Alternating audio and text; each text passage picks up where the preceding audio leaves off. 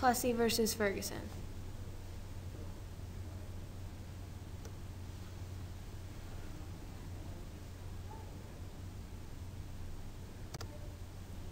Background In 1892, Louisiana was segregated.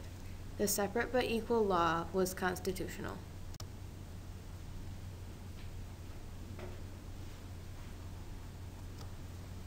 Who was Ferguson? He was the New Orleans district judge. He had original jurisdiction over the case.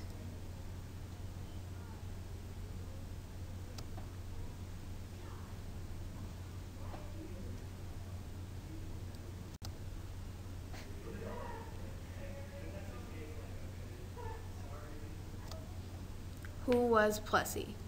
He was one eighth African American. He was part of a group of African Americans that set out to test the constitutionality of the Louisiana law. Plessy tried to sit in an all white railroad car. He was then removed and arrested.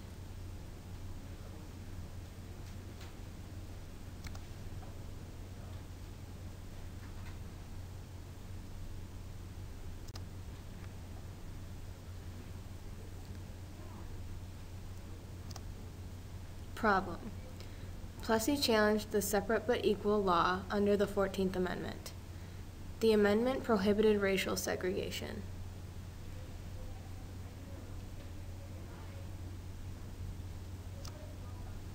Question challenged.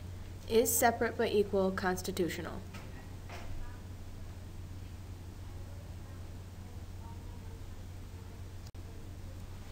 Thirteenth Amendment only protects African Americans from slavery.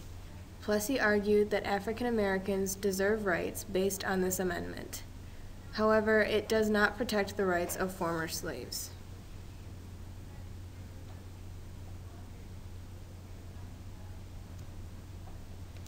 Fourteenth Amendment prohibits racial segregation, supposed to enforce equality between races.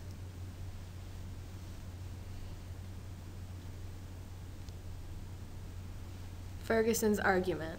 Separate but equal doesn't imply that one race is inferior to another.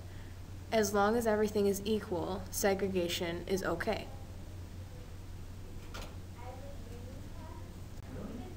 The verdict. Plessy lost the case. The Supreme Court ruled that separate but equal is constitutional.